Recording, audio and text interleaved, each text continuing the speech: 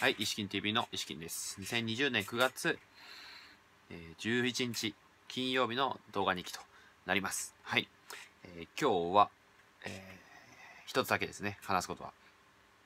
えー、今日午前中は米田コーヒーでいつも通り、えー、ブログ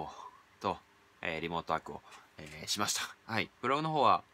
あのー、昨日に引き続き、呪術、漫画呪術廻戦の、えー、名言記事を、えー、書きました。はい。えー、今日、まあ、取り扱ったのは、えー、っとですね、まあ、その作中に出てくる最強の、えー、呪術師と呼ばれている、えー、五条悟君というのが、えー、すごく強い、えー、方がいるんですけども、彼の、えー、もともとね、えー、親友だった、えー、下藤卓さんという、えー、人のね、名言を、えー、5選かな、を書きました。はい。えー、まあなかなかちょっとやっぱり、えー、まあ慣れなんですけども、なかなかね、こうしっくりくる文章がやっぱり書けないなと思いますが、ちょっと諦めず、まあどんどん、えー、ひたすらね、えー、書き続けたいと思います。はい。えっ、ー、と、ね、昼からは、えっと、まあ家帰ってきて飯食って、すぐ、えー、昼寝しないで、えー、で、すぐ出て、えー、向かった先が、えっと、カラオケですね。えー、カラオケ行きました。で、今日なんで行ったかっていうと、まあ、あのー、まあ大体、えっと、平日のフリータイムが、えー、すごく安くて、えっと、そうですね、フリータイムで、えー、500円、えー、500円じゃないな、え、っと、ドリンクバー付きで、えー、1202円、なんですね。僕がよく行ってる、えー、ところは、コートダジュールってとこなんですけども、えー、すごく安くて、はい。えー、で、えー、しかもね、なんか、あの、なんかポイントカード、なんか、ありがとう感謝カードみたいなのがあって、それがた、ちょうどね、えっと、あと1回で、あと1スタンプで、えー、3つ溜まって、3つ溜まるとなんと、えー、次の、今度行った時に会計から、えー、マイナス100円、あ、マイナス1000円、なんか1000円引き、えー、になるということで、まあ、次、だからその、絶対貯めたいなと思って今日、えー、行ってきました。はい。で、まあ、カラオケは、そうですね、先月末ぶり、なんで、まあ、そこまで2週間とかしか経ってないと思うんですけども、行ってきました。はい。えー、一人で行ってきました。はい。で、今日は、えー、いつもね、ライブダムの、えー、一番ね、えー、最新機種の部屋に、えー、今9番ですけど、多分9番の部屋なんですけども、9番の部屋に通されてるんですけど、今日はちょっとね、えー、なぜか、えー、混んでいて、えー、ほとんど席が、あ、ほとんど、あの、満室状態だったんで、 LIVE DAM 選ぶことができず、えー、 JOYSOUND、えー、今、機種が JOYSOUND の部屋しか、えー、ないですけども、いいですかっていうことを、まあ、まず聞かれたわけです、店員さんにね。で、ちょっとそこでね、かなり何秒か、えー、迷って、いやー、 JOYSOUND かと思って、えー、なんか曲、なんか微妙だなって、いつも LIVE DAM でやってるので、ちょっと JOYSOUND 微妙だなっていうのがあって、ちょっと結構ね、10秒ぐらい、5秒、10秒ぐらい悩んで、結局ちょっとまあ、いいかと思って、えー、そこにしました。で、なんかその、今回ね、初めて、えよく、まあそのカラオケ行ってるんですけども、えー、初めて、えー、パーティールームじゃなくて、えっと、ステージ、えー、ルームというところに、えー、通されました。本当に、あの、一人で、えー、使うような、えー、広さじゃないところに通されるステージっていうのは、あの、普通は、まあ、こういうのが、ソファーというか、があって、で、その目の前に、あの、カラオケのね、スクリーンがあって、機械がここにあってっていう感じなんですけども、その、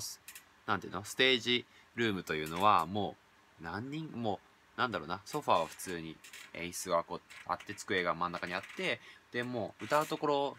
が、あと、なんだろう、別で、えっと、モニターが、えー、普通に機械の上にモニターがあるのと、あと、逆サイドの壁にも、えー、モニターがあって、えー、どっちも映像が流れるという感じで、しかもその、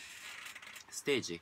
があるんですね。その、機械のとこにステージがあって、え、そこのマイクスタンドも、えー、置いてあって、そこで、えー、こう、なんだろう、ライブさながらにみんなの方、えー、向かって、座ってるみんなの方を、座ってる人たちの方を向いて歌えるという、えー、なかなか、えー、いい席、いい部屋に通されました。はい。で、これまでね、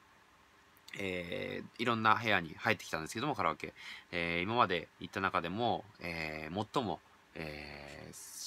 史上最高に歌いやすかった、え、環境でした。はい。またあそこの部屋、通されたいなっていうか、まあ普通に1人じゃなくても2、3人とか4人で行きたいなって思いましたね。はい。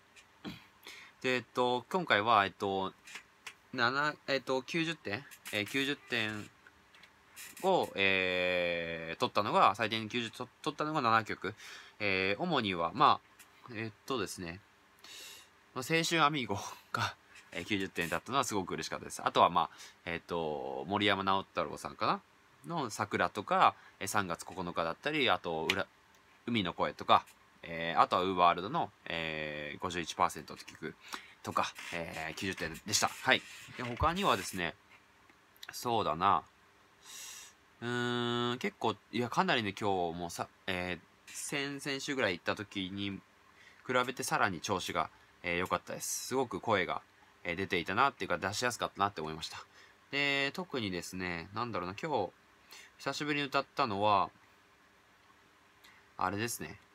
あ、あの、デジモンのオープニングで有名な、あの、バタフライっていう曲、一番だけ歌って、すごく、えー、前歌った時よりも、えー、かなり、えー、歌えるようになってて、えー、嬉しかったです。はい。めっちゃ楽しかったです。はい。で、あとはですね、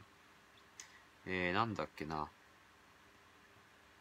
あの、いつもよく歌っている、お箱として歌っている、えっ、ー、と、ジャスティン・ビーマンの Love Yourself という、えー、バラードがあって、えー、それは88点だったんですけども、えっ、と、その、採点の、なんか機械の最後、コメントみたいなのがありますよね。あれが、えっ、と、抑揚の付け方が、え完璧ですって書いてあって、すごく嬉しかったです。はい。え結構意識して、意外、まあ、一応サビとね、えそれまでのパートと意識して歌ってるので、そこが評価されてすごく嬉しかったです。はい。えあとはなんだろうな。えー、そのさっき言ったウーバーワールドの90点取った、え、51%っていう、えー、バラードが、バラードかな？があるんですけども、はい。で、えー、っと、そちらが、えー、そちらのコメントが旋律に忠実で作曲家が嬉し泣きしますというコメントが、えー、最後ね、書いてあってあ、そうなんだと思ってで。あとは、なんだろうな、久しぶりに歌ったのは、えっと、岡崎体育さんのミュージックビデオっていう曲と、あと、感情のピクセル。こっちも岡崎体育さんで、えー、久しぶりに歌ったんですけども、いやー、楽しかったですね。はい。感情のピクセルの方は、えー、なんだろうな、あのー、サビに入るまではすごい、えー、歌詞とかね、普通にかっこいいんですけども、急にサビで、えー、動物さんたち大集合だ、ワイワイっていう感じで 急にあのぶっ壊れるんですごく、えー、なんだな。あのー、一人だったんですけどすごく、えー、楽しく盛り上がりました。はい。で前回に引き続き「Everybody, Everybody Go」えー、キスマイ2つの Everybody Go とえー、っとなんだっけな。えー、君に一目惚れ、えー、セクシーゾーンの君に一目惚れもすごく、えー、楽しかったです。あとはね、嵐の最近出したターニングアップっていう、えー、曲、えー、もう、えー、すごくノリノリで楽しみました。はい。で、あとはなんだろうなうーん、そんな感じですかね。あとは、えっと、最近めっちゃ、えー、毎日聴いている、えっと、まあ、その I don't like Mondays っていう、えー、IDLMs っていう略してね、I don't like Mondays ってすごいおしゃれな、えー、人たちの、えー、バンドというかアーティストがいるんですけども、えー、彼らの曲で特に今僕が聴いてる Up to You っていう、まあ、あなた次第っていう多分意味なんですけども、Up to You っていう曲がすごい最近聴いてて歌いたかったんで、あ、探したらありまして、えー、そう、あって、えー、2回ね、最後、えー、歌っちゃいました。2回歌いました。すごく、えー、気持ちよかったです。はい。そうですね。えー、Up to You すごくおしゃれなんでね、ぜひ、えー、まあ、I don't like Mondays 自体がすごくおしゃれな、えー、洋楽チックな感じで、えー、英語も時々混ぜてきて、えー、すごくかっこいいんで、ぜひ、えー、I don't like Mondays 聞いていただければなと思います。はい。そんな感じで今日は、そうですね、えー、やりました。はい。えー、で、漫画ね、ナルトの方は、えー、今ね、39巻ぐらいまで読み進めまして、えー、っと、サスケが、えー、オロチマルをね、なんか殺し、殺したっていうか、えー、オロチマルに乗っ取られそうにな、蘇生、転生されたそうになったのを、えー、サスケの力で、サスケはこう、オロチマルを乗っ取、オロチマルごと乗っ取って力を手にしたみたいな。で、そこからなんか、えー、兄のね、イタチを倒すために、えー、強い、えー、なんか、メンバーを集めて、えー、これから戦うみたいな。で、えー、さっき読んだのは、えー、っと、なんだっけな。あ、あとあれだ。あの、鹿丸先生、鹿丸くんとか、長治くんとか、いのちゃんの、えー、師匠の、えー、と、サルトビアスマさんがちょっと戦